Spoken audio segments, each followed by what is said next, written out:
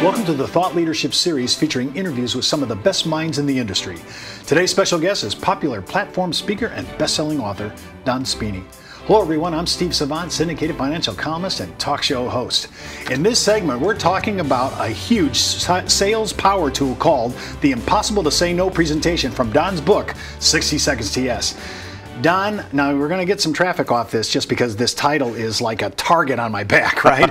uh, wow, to, you can't you, you you can't say no to. That's right. Well, I'm into that. If I if, if the end game is product placement, I want to hear your presentation. Great, thank you. And uh, understand this: uh, this the, the the presentation stems from what we've done up to this point and what we call buyer conditioning. If you've been following the series, we talk a lot about buyer conditioning, and I call it the impossible to say no presentation because the presentation comes from the buyer. They've told us.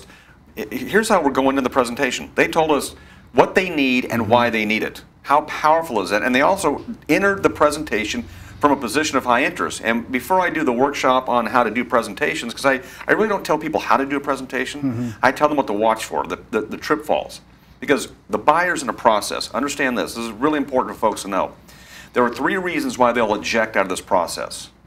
Two of them are caused by us, the seller, in the presentation part. So I want to give you more of the warnings versus how to do the presentation and, and what to look for because it's the opposite of what people think. Hmm. So if I'm if, I, if you're if what are the two things that you think are most critical that you want to warn us before we get into this? Good, I fed you that line. Thank you. Uh, here's here's how it works. First of all, there's two reasons why the buyer ejects here. One is they don't believe us in the presentation. Our credibility is shot. Now, they don't believe us. They think we're dealing in claims. Understand this. The part that controls the presentation of the buyer is the brain. The brain is very sterile. It wants proof, evidence, and facts. It doesn't want to be entertained. Too many times you try to have an entertaining presentation that doesn't work for the brain. But we will say something and the buyer doesn't believe us. Now, we're not lying. If you're lying, I've got no help for you. Mm -hmm. We're not lying. But the buyer doesn't believe us. They think we're dealing in a claim. But here's the problem. They don't act like they don't believe us. They act like they're believing us. Here's what I look for in a presentation. When I'm doing a presentation, I want the buyer skeptical. I want them asking tough questions. That means it's tracking with them. When I see the buyer get excited about my presentation, they're ejecting. How do I know that? The brain doesn't get excited. If they, if they get excited, the brain is shutting down saying, I don't believe Don, let's get out of here, make them think we're going to buy, let's get in the car. So I've got to watch mm -hmm. that I want them skeptical and engaged. And when, they, when mm -hmm. I lose that, I'm losing them. I'll give you an example if you need it, but that's what I'm looking for. Well, I'm looking for, I'm trying to think of how, you just gave me the tip off of what to look for. I get that. But now I want to go to the second part, which is, okay, how do I get him so engaged that he's asking these questions? He's really, he's giving me the third degree. Well, you know, people take skepticism wrong. See, mm-hmm. for example, you know, so uh, he's asking me a tough question. Why is it so expensive? Why do I have to do this now?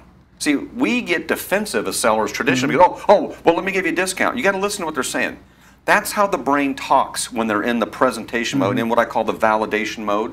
They sound skeptical. They're not really skeptical, it's the brain suppressing emotion so they can mm-hmm. hear this.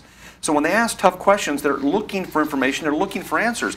Answer the question. Don't get caught up in their tone. The second reason they eject, though, and I haven't covered this, is the presentation is just too darn long. The brain is, the, mm-hmm. again, the unemotional part. We're not unemotional creatures. We like to have emotion. The longer I have I keep in that presentation, I call it the credibility curve, the lower your interest. So they don't believe us. We have to fix that. And again, we don't have time to go how that happens here, but you're going to have a resource for that. They don't believe us or the presentation's too long. And I want you to look at, as an example, the panel on a cereal box, the nutritional panel. It's designed to get people off that panel as quick as possible. That's the true presentation from the cereal company. But it's easy to sort, easy to find things because the cereal company knows the longer you stare at that panel, the more likely you're going to say no. So they got to get you off that panel as quick as possible. Here's a, here's a big reveal, and you know, we can take hours to develop this, but folks, that panel on the cereal box is the presentation. If the presentation gets people to buy, that panel would be facing out in the store. It's the emotional connection and interest that's caused by the front of the box that gets mm -hmm. them to buy. That's where we invest our time. The presentation is important, but it doesn't get anybody to say yes. So we have to not lose the sale in the presentation. That's part of buyer conditioning. That's part of the impossible to say no presentation. You talk about proof evidence as part of this entire impossible to say no to presentation. What was the proof text that you just gave on the cereal box? It's a great analogy. I like it. Let's just stay with it. Yep, think about this. Again, you know, if you go back to, to a previous statement I made, because we developed this in, in, great detail in the in the in the presentation. Uh, the brain. Uh, look how look how the panel. The, again, I say the, the, book should have been. Uh, There's no salesperson in the cereal aisle because I use that cereal box all throughout my all throughout my workshop. Look at how that presentation is designed. It's in black and white. The government doesn't require it to be in black and white. Why is it in black and white on that panel? Because what does black and white mean to us? The truth. It's in black and white. So they know, the cereal company, smarter than all of us from a marketing perspective, knows that I got to keep the presentation short and only the facts, proof, and evidence. Mm-hmm. There's, it's not entertaining. The brain doesn't want to be entertained. Look at how that, that nutritional facts label's is mm. designed mm. and think about your presentation. Short, sweet, just the facts, and close. Get them off and out of the presentation as quick as possible. Wow, well, if you want more information on the Impossible to Say No presentation and how it can impact your practice, just hop out to our landing page address in the video description. We'll be right back with more from Don Spini. This is your website. Few people visit, and if it isn't attracting new visitors, it's not doing its job. Now you can drive more visitors to your website through dynamic content and email marketing with CreativeOne's Social Media Elite. Capture quality leads faster and easier. Engage your visitors with informative articles and videos to boost your online credibility. Plus, stay connected with existing clients and earn more referrals.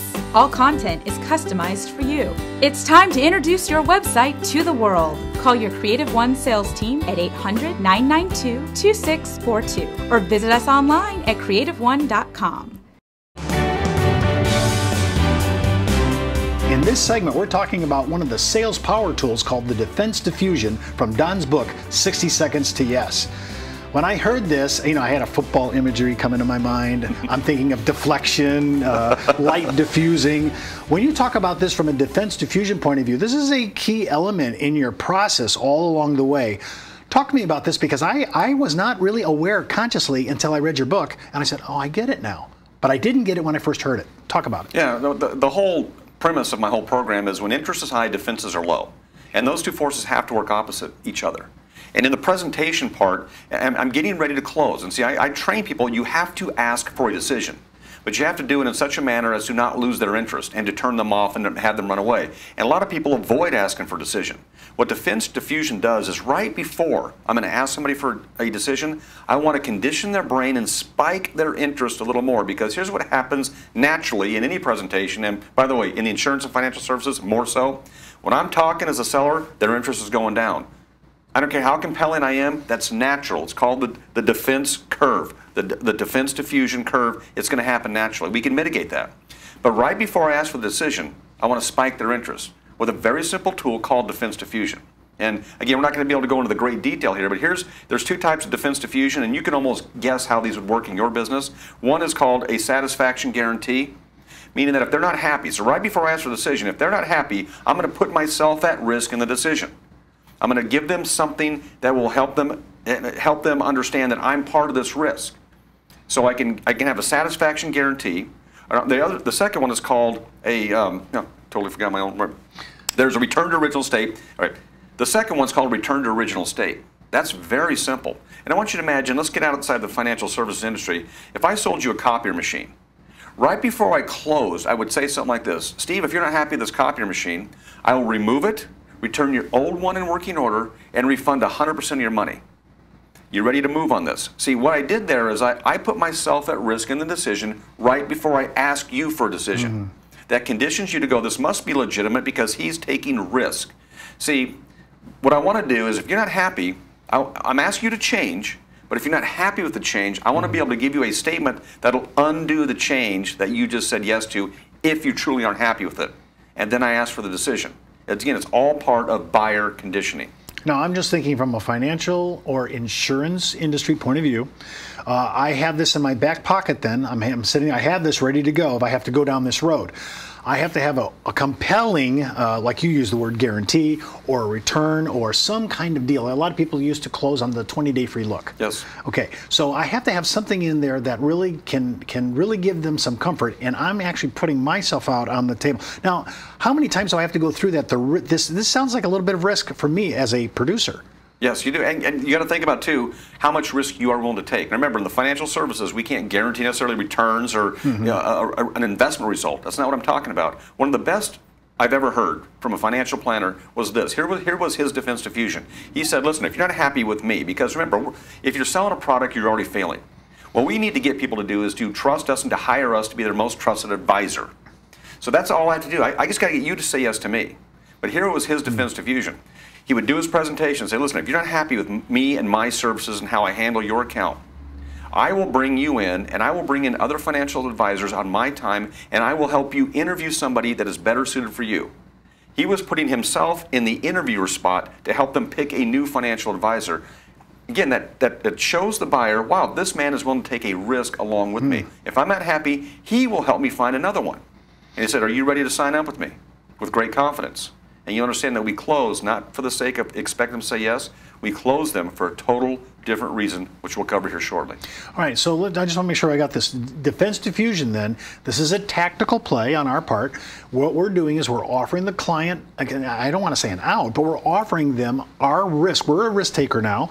We're going to be able to, I love your idea. I love that uh, idea. i am not the person for you, I'm not for everybody.